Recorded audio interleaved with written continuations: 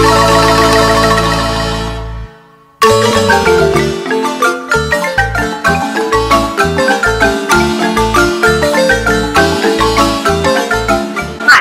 Monica. I am the CEO and founder of HueTrition, and today we're bringing you flavors from Mexico. We're here in Chico Veracruz, Mexico, at the La Molienda restaurant, where they make all kinds of dishes from scratch, and particularly corn.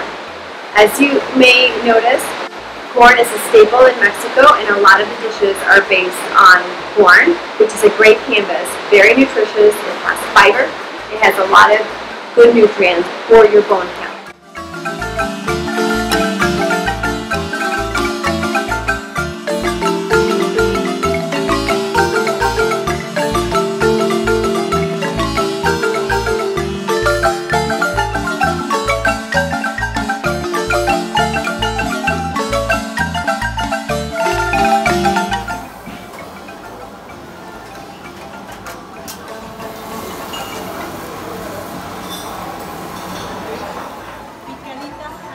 tá?